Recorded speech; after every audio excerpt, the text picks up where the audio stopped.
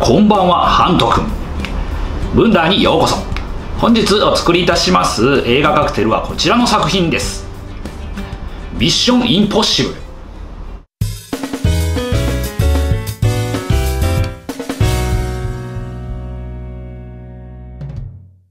今やトップガンと並ぶトム・クルーズの代名詞的作品となったミッションインポッシブルシリーズ。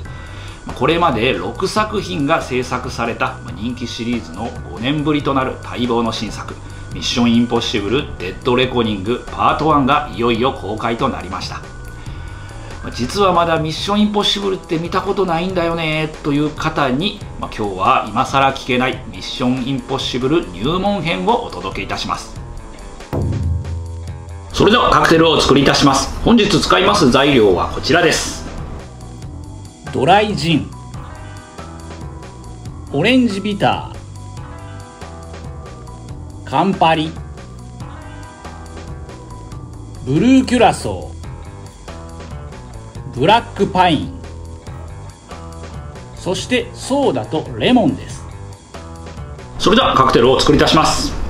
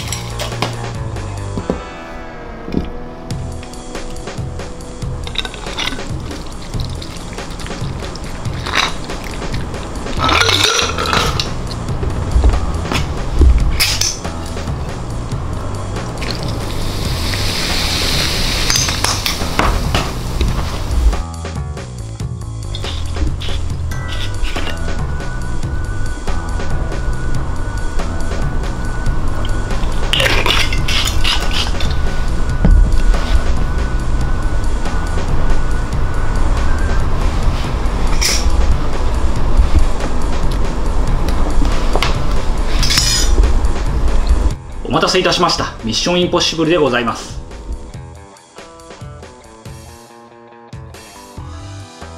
このミッションインポッシブルというカクテルですけれども、まあ、空に陸に水中にと、まあ、大暴れするイーサン半島をイメージして、まあ、青と赤を使って作ったカクテルです、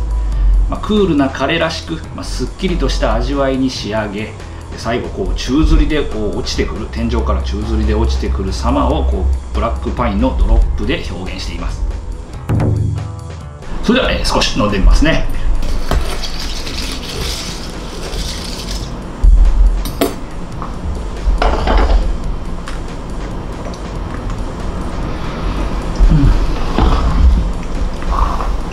ジンフィズを、まあ、飲んでるようなこう爽やかな味わいですね。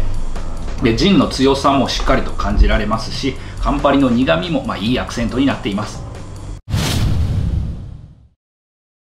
CIA の極秘諜報部 IMF に所属している凄腕エージェントイーサン・ハントを主人公にしたミッション・インポッシブルシリーズ。今までに6作品が制作されその合計が約35億ドルという興行収入を上げていてシリーズものの作品としては歴代第15位にランクインしています。トップガンで一躍スターダムにのし上がったトム・クルーズ。その後もレインマンとか7月4日に生まれてそしてアフュー・グッドメンとまあ、演技派俳優として着実にこうステップアップしていった、まあ、彼なんですけども、まあ、1992年に長年のビジネスパートナーだったポーラ・ワグナーと共にクルーズ・ワグナー・プロダクションズを設立します。そしてその第1回作品として制作されたのが「ミッション・インポッシブル」なんですね。まあ、さてこの「ミッションインポッシブル」のシリーズなんですけども1966年に放送がスタートしたテレビシリーズの「スパイ大作戦」を元にして作られている映画シリーズなんですね、まあ、テレビドラマであった任務を伝えるテープであったりそのテープを聞いた5秒後にはテープ自体がふわっと消滅する設定とか、まあ、数名のチームで任務に当たる様であったりラロシフリンが作曲したあの有名なテーマ曲であったりと。まあ、ドラマの流れをいくつか踏襲はしているんですけどもこの映画シリーズは別物として捉えても良さそうです、まあ、心理戦的要素が強かったスパイ大作戦に対してこの「ミッションインポッシブル」のシリーズは、まあ、激しいアクションが大きな見どころになっています。ま、中でもトム・クルーズの年齢を逆走するかのようなスタントを使わないアクションはどの作品でも大きな見どころになっています。まあ、全部で6作品あるこのシリーズなんですけども3作目まではナンバリングされていますが4作目以降は「ゴーストプロトコル」「ローグネーション」そして「フォールアウト」そしてまあ今回の「デッドレコニングパート1と」まあ、そういう順番になっているので見る順番にはお気をつけください。